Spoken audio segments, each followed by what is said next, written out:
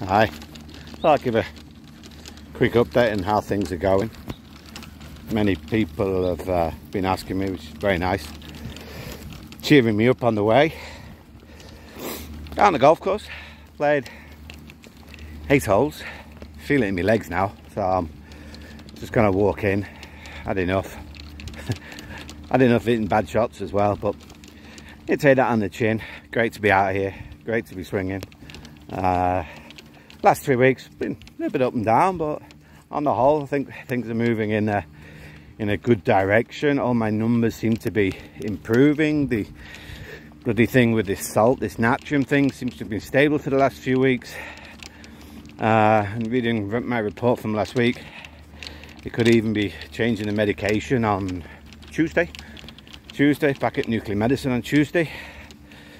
Uh, weight's going up it's going up so quickly as well. Almost at an all-time high so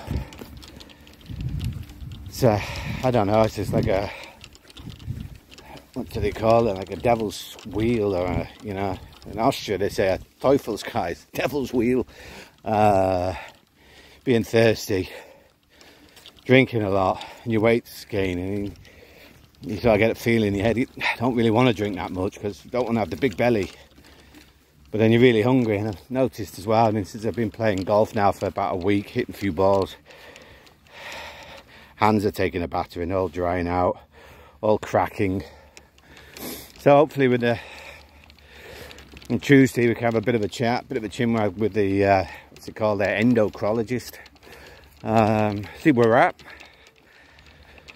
In the meantime trying hit balls every every day do a little bit of teaching a little bit of work keep yourself busy, keep yourself moving, and uh, any news and any reporting, I'll let you know. Thanks for all the messages. It's really nice to know that people understand and what's what what, you, what you've gotten through.